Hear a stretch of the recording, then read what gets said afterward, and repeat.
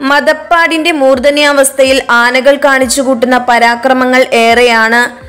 ആ സമയത്ത് ആനകൾ വളരെ ആക്രമണകാരികളായി മാറുകയും തുമ്പിക്കയും കൊമ്പും തറയിൽ കുത്തി ദേഷ്യ സ്വഭാവം പ്രകടിപ്പിക്കുകയും ചെയ്യുന്നു. അങ്ങനെയൊരു മതപ്പാടുകാലത്ത് പഴുപ്പ് ബാധിച്ച കൊമ്പ് നിലത്ത് കുത്തിയതിനെ തുടർന്ന് വേദന കൊണ്ട് പുളഞ്ഞ ആന സ്വയം തന്റെ കൊമ്പുകൾ പിഴുതെറിഞ്ഞു. എറണാകുളം ശിവകുമാർ എന്ന ആനയാണ് മതപ്പാടിൽ നിൽക്കുന്ന സമയത്ത് പഴുപ്പ് ബാധിച്ച കൊമ്പ് സ്വയം പിഴുതെറിഞ്ഞത്. ആയിരത്തി തൊള്ളായിരത്തി തൊണ്ണൂറ്റി ഒമ്പതിലാണ് സംഭവം നടക്കുന്നത്. കൊമ്പിൽ പഴുപ്പ് ബാധിച്ച ശിവകുമാറിനെ തൃശൂരിലെ കൊക്കർണിപ്പറമ്പിലാണ് തളച്ചിരുന്നത്. മതപ്പാട് സമയമായിരുന്നതിനാൽ കൊമ്പിലെ പഴുപ്പ് കാരണം വേദന കൊണ്ട് പുളഞ്ഞ ശിവകുമാർ തന്റെ കൊമ്പുകൾ രണ്ടും മണ്ണിൽ കുത്തിയിറക്കി. അതോടെ പഴുപ്പ് മൂലം ബലക്ഷയം സംഭവിച്ച കൊമ്പ് ഇളകാൻ തുടങ്ങി. മതപ്പാടിൽ നിൽക്കുന്നത് കൊണ്ട് തന്നെ ആർക്കും ഒന്നും ചെയ്യാൻ സാധിക്കാത്ത അവസ്ഥയിലായിരുന്നു.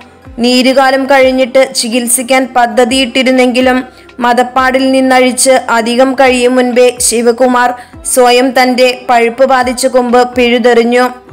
കൊച്ചിൻ ദേവസ്വം ബോർഡിന്റെ ഗജവീരന്മാരിൽ ഏറ്റവും ഉയരക്കേമനാണ് എറണാകുളം ശിവകുമാർ. കൊടുങ്ങല്ലൂർ സ്വദേശിയായ വ്യവസായ പ്രമുഖൻ കെ ജി ഭാസ്കരൻ ഗുരുവായൂരപ്പന് നടയിരുത്താനായി കോടനാട് നിന്നും വാങ്ങിയതായിരുന്നു നാലു വയസ്സുള്ള ആനക്കുട്ടിയെ. നടയിരുത്തുന്നതിന് മുൻപായി കുറച്ചുകാലം എറണാകുളം ശിവക്ഷേത്രത്തിന്റെ പരിസരത്തായിരുന്നു അവനെ നിർത്തിയിരുന്നത്. ഗുരുവായൂരപ്പന് നടയിരുത്താനുള്ള നാളും തീയതിയും കുറിച്ച് ആഘോഷമായി കൊണ്ടുപോകാൻ വേണ്ടപ്പെട്ടവരെല്ലാം വന്നു ചേർന്നു. പക്ഷെ ആരൊക്കെ എന്തൊക്കെ ചെയ്തിട്ടും ആനക്കുട്ടി എറണാകുളത്തപ്പന്റെ മതിൽക്കെട്ടിന് പുറത്തേക്ക് കടക്കാൻ സമ്മതിച്ചില്ല. ഒടുവിൽ അവർ പ്രശ്നം വയ്ക്കാൻ തന്നെ തീരുമാനിച്ചു. പലവട്ടം ഗണിച്ചു നോക്കിയ ശേഷം പ്രശ്നക്കാരൻ പറഞ്ഞത് ആനക്കുട്ടിയുടെ വഴിമുടക്കുന്നത് സാക്ഷാൽ എറണാകുളത്തപ്പൻ തന്നെയാണെന്നാണ്. അവസാനം ആനക്കുട്ടിയെ എറണാകുളം ശിവക്ഷേത്രത്തിൽ തന്നെ നടയിരുത്താൻ തീരുമാനിച്ചു. അന്നു മുതൽ അവൻ എറണാകുളം ശിവകുമാർ എന്ന പേരിൽ അറിയപ്പെടാൻ തുടങ്ങി. ഇന്ന് കൊച്ചിൻ ദേവസ്വം ബോർഡിന്റെ ഏറ്റവും വലിയ ആനക്കേമനായി മാറിയിരിക്കുന്നു എറണാകുളം ശിവകുമാർ. ഒരു കൊമ്പിന്റെ കുറവുണ്ടെങ്കിലും ഏറ്റവും കൂടുതൽ കൊമ്പ് വളർച്ചയുള്ള ആനയാണ് ഇന്ന് ശിവകുമാർ.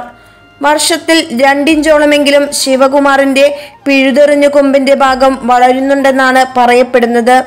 രണ്ടു വർഷമായി തെച്ചിക്കോട്ടുകാവ് രാമചന്ദ്രന് പകരം തൃശൂർ പൂരത്തിന് തെക്കേ ഗോപുര നട തള്ളിത്തുറക്കുന്നത് ശിവകുമാറാണ്.